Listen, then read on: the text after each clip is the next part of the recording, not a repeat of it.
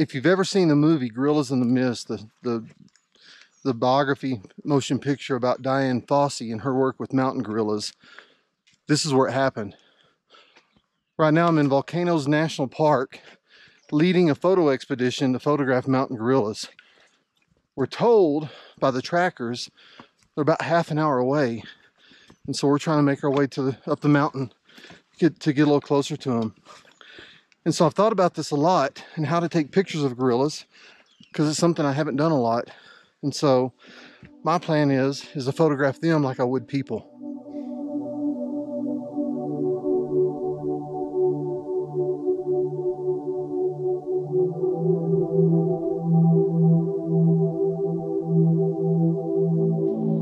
This national park we're in, Volcanoes National Park, sits on the border with the Democratic Republic of Congo. And it's made up of a bunch of dormant volcanoes that form part of Africa's Great Rift Valley.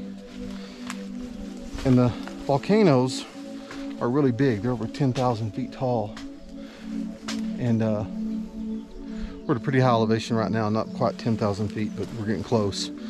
But these mountain gorillas will just bed at night and then during the day they'll move out and feed in different areas. And so what happens is the trackers will go out and find them and then we follow along once they've established where the where the troop is for the day. So we're headed there right now and it's pretty exciting.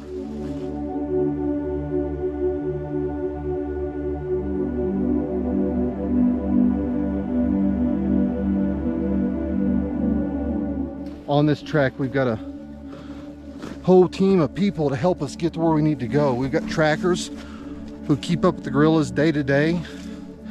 We've got porters who are helping carry our gear. And then we've got our guide who will help us interpret gorilla behavior,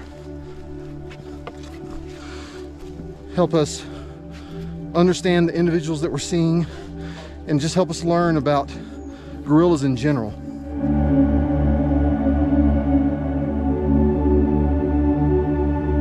Almost to the gorillas, but just to get here wasn't an easy task. We started way down the hill at a village.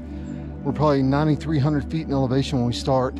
Right now we're over 10,000 feet elevation, or about 10,000 feet elevation. So uh, it's a moderate climb. It's not easy for someone like me who's uh, lives at 600 feet elevation. So it's a little bit of getting used to the altitude, but we're all making it pretty well so far. And just a few more minutes and we'll be at the gorillas. We just left the porters behind and we're making our last little bit of trek to the gorillas. The trackers tell us they're just right up the way here. I'm not sure exactly how far, but it shouldn't take us too much longer and we'll be right in the midst of them.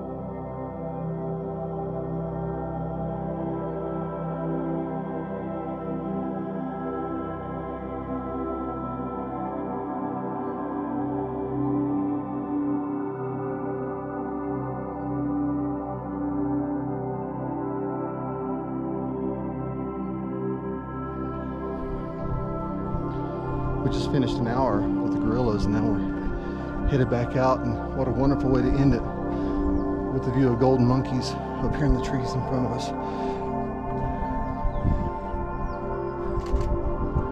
Traveled a long way and covered some tough terrain just to be here, but uh, how incredible of an experience is it to come to Rwanda and hike up to the legendary mountain gorillas and see them interact in their nat natural habitat.